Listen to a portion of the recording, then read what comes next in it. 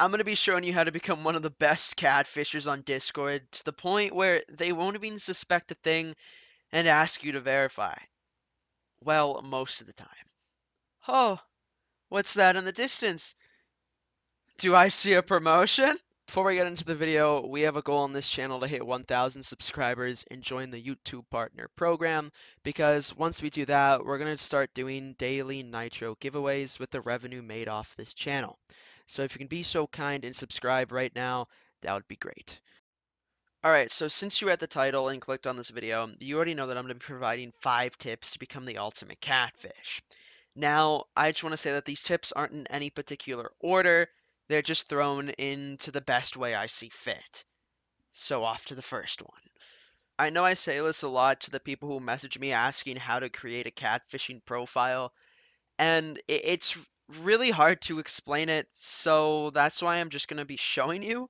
So here's an alt that I made, and as you can see, it's set up, but not set up for catfishing. I tried to make this look like an account that someone would actually use before catfishing. So the first two things are profile picture and name. So I'm just going to edit my name. I already had a predetermined name. Look at all my alts. I already had a predetermined name, Coco, with a little tilde thing, I think that's called. and then for the profile picture, uh, I just search on Pinterest. Um, this is one that I'm going to use. Now, as you can see, my name and profile picture is set. Now onto the About Me section. This is relatively new to Discord, so not many are using it, but for this, we'll just go with uh, she, her, 15, do, do these dashes, and haha me go burr. As you can see on the side, it kind of just shows what your profile will look like. Now, this is pretty generic and bland still, so what I'm going to do, I already got this pre-made here, but I'm just going to paste this in here. As you can see now, this is my profile. It's looking pretty legit. Lastly, we have to do connections. So few actually do this that it's not even funny.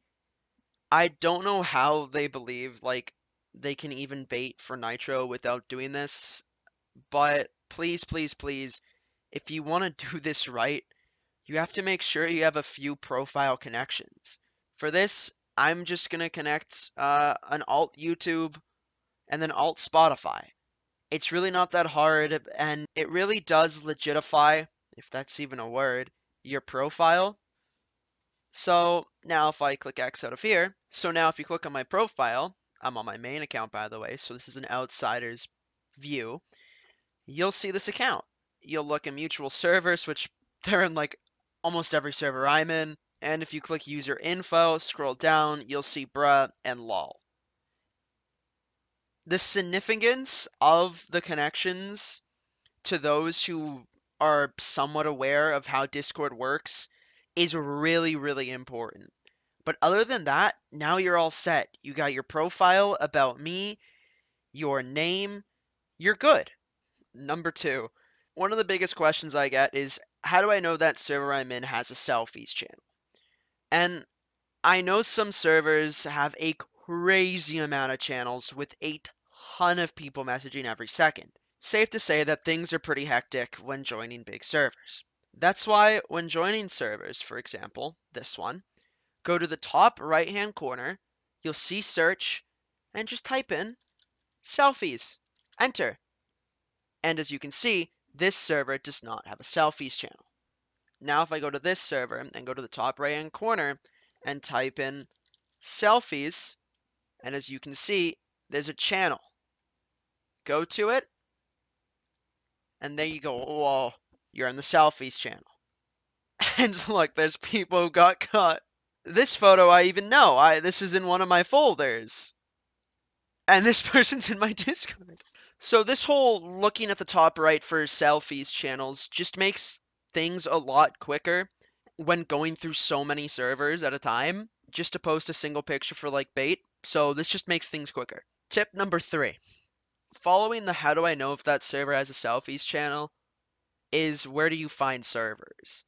Well, I'm going to have to show you. What I like to do is join really big servers, and if you've done that before, you'll notice that you get at least like two to three bots associated with that server messaging you more servers. You can see where I'm going with this. As you can see, this is me six. As I join a whole bunch of servers, this was a long time ago, so all the invites are invalid now. But you can see that these are all the servers that they've uh, invited me to. So you just click on that, you join them, you probably get sent another one, and you just do it over and over again. Pair that up with finding selfies channels, and you're literally speed running selfies. Tip number four use emojis to act vulnerable. And what I mean by that is use emojis when applicable. For example, here's a screenshot of my most used emojis. I know this might sound confusing on why and when you should use them, so here's an example of me using them appropriately. As you can see, the use of emojis can be very helpful in driving conversation because, in my opinion, it puts visual emotion, like the pleading face or the blushing face, it makes a person seem more willing and more connected to the situation, if you understand what I mean. Looking at this hello with the blush emoji, it makes me want to respond. It makes me feel like there's like an actual human on the other side. And that's where I said shows emotion. That may just be me. This might just be all stupid, but use emojis to your advantage.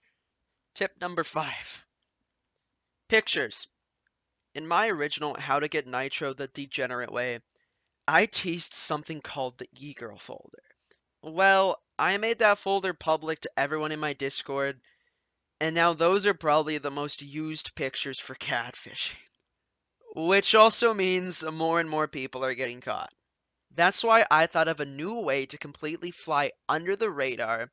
The odds of you getting caught are so slim if you use this method. All you have to do is find some random girl's Instagram who has anywhere between 5 to 10 subjective photos. And what I mean by subjective is that those photos can be applied to any conversation. For example, this picture. When sending any picture, you want to make it seem as real as possible. So this is what I do for this one. So before I send it, I say typically anything along these lines. This seems a bit more manufactured because it is. Okay, I'll take a pic right now. I'm at school though let's say I'll say that. So, okay, I'll take a pic right now. I'm at school though. And then going back to the previous tip, use emojis to your advantage. The emojis on this account's terrible, so I just have to copy and paste it. Um, this one, rolling eyes, right? It kind of applies to the picture. So you send it here. So with the close-up of what I just did, this little lineup of, okay, I'll take the pic right now, I'm at school, mixed with an emoji, mixed with a picture that works really, really well. You can see in the background, there's curtains. It looks like they're in some type of uh, science lab. This works so well. And that is an example of what I mean by subjective photos. It connects the photo with the person typing, which is you, a girl, right? We're all girls. It makes it as real as possible. Now that I put you through an example, I heavily recommend you putting the images you use through reverse image search before using them. If you don't know how this site works, by the way, you just get any image that you plan on using, or if anyone sends you, just paste it in here, and it'll search for the image. This is how you can like solidify that it's not like a catfish, or at least it can still be a catfish, but it's super, super like low. You know, the chances are super low. Now, because people don't do this, they get called out. Prime example in this Deja Vu server that I did my speed run in. People from the video watched it, they got into the server, and as you can see, people are getting called out for just being a catfish because they're using Pinterest, something I did recommend, but I didn't touch on reverse image searching. I thought people knew about that, so my bad, but please, please reverse image search before you use them. I know this video is labeled 5 tips, but this is an honorable mention. It's not even an honorable mention. Please don't DM me asking for Nitro. or if I can catfish for you. One, I stopped catfishing, and two, I, I couldn't be asked to spend hours on hours baiting.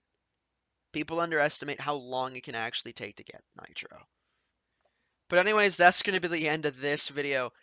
If you did enjoy, drop it a like, um, join my Discord server, link below, and hopefully this video cleared up a lot of things that just wasn't mentioned on my first degenerate video way. Um, that video was rushed super quickly. I, I still thank you all for the support for that one, so hopefully this one clears things up. Peace.